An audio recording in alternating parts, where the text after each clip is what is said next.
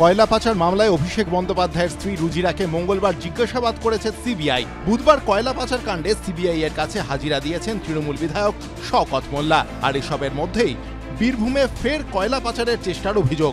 গোপন সূত্রে খবর পেয়ে মঙ্গলবার বিকেলে ম্যাটাডোর ভর্তি কয়লা বাজেয়াপ্ত করল পুলিশ। ফলের বাক্সের আড়াল থেকে বেরোলো কয়লা। পুলিশ সূত্রে খবর, কয়লা বোঝাই একটি ম্যাটাডোর মোহাম্মদ বাজারের খয়রাকুড়ি ব্রিজের ওপর দিয়ে যাবে এই খবর পেয়ে সেখানে অভিযান চালায় পুলিশ। ম্যাটাডোরটিকে আটক করলে দেখা যায় তাতে বেশ কয়েকটি ফলের পেটি রয়েছে, কিন্তু সেই পেটি সরাতেই বেরিয়ে আসে কয়লা। পুলিশ সূত্রে দাবি, ম্যাটাডোর চালকের কাছে কোনো কাগজপত্র ছিল না। কয়লা বাজেয়াপ্ত করার পাশাপাশি চালককে গ্রেফতার করা হয়।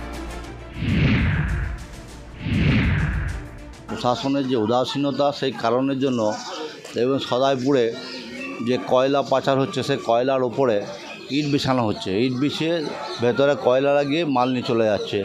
এইভাবে ওরা কয়লা দিনের পর দিন পাচার করছে। এখানে সম্পূর্ণভাবে তৃণমূলের একটা এর মধ্যে এরা সম্পূর্ণভাবে জড়িত। আর সেই কারণের জন্য পুলিশ উদাসীনতা ভাব দেখায়। বীরভূম জেলায় ইতিমধ্যে কয়লা পাচার করার জন্যে প্রায় দেড়শোখানা কেস রুজু হয়েছে। পুলিশ তৎপর নয় সেটা সত্যি নয়। আর দুষ্কৃতকারীরা কাজ করে তারা কোনো দলের হয় না। বীরভূম জেলা পুলিশ সূত্রে দাবি জেলা জুড়ে নাকা তল্লাশি বাড়ানো হয়েছে তাই বিভিন্ন জায়গায় কয়লা পাচার আটকানো সম্ভব হচ্ছে। এরশাদ আলম এবিপি আনন্দ বীরভূম। বাংলা গুজব চায় না বাংলা খবর চায়। বাংলা খবর বাংলার খবর। শুনতে পাচ্ছি না বল না? হ্যালো? টাকাটা ব্যাপার নয় আজকে বাংলা গলাবাজি চায় না বাংলা খবর চায়। বাংলা খবর বাংলার খবর। বাংলা ঝামেলা চায় না বাংলা খবর চায়। বাংলা খবর বাংলার খবর। বাংলা চেঁচামেচি চায় না বাংলা খবর চায়। বাংলা খবর বাংলার খবর। চাটা দে। কি আমারটা? বাংলা পক্ষপাত চায় না বাংলা খবর চায়। বাংলা খবর বাংলার খবর।